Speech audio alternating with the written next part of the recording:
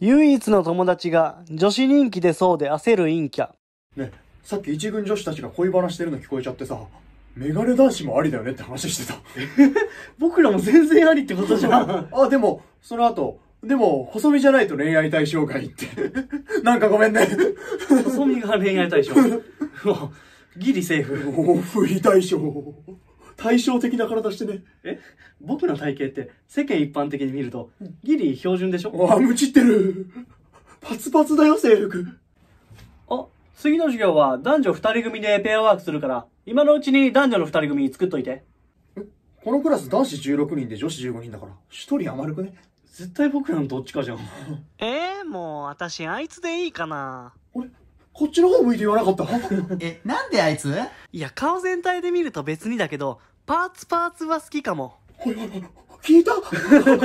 パツパツが好きって。あ言ってないよ。デブに有利な耳してるね。おい、誰でもいいから早くペア作れよ。あの二人ならまだ歌教員かなねえペア組まない？なんかごめん。ごめんね。ねえいいの？お、別に、別に、全然、全然。え、え何？キモなんで君の方が女子受けいいんだろ俺じゃね？僕って女子の前だと喋らないから、クールキャラって感じなんじゃない？う 僕もクールキャラだけどな。え？君はいつも焦ってパニクってんじゃん。長井、今お母さんから連絡があって、長井のお父さんが交通事故で大怪我したって。え、え？あ、こういう時こそ、冷静に対処しないと。あ、父が。へー。おー、クールキャラ。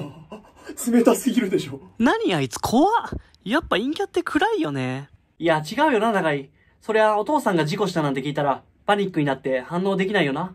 やばいよ。さすがに無反応すぎて、めっちゃ暗いやつだと思われてるよ。あ、うんいや、全然暗い気分とかじゃないです。今、めっちゃハッピーです。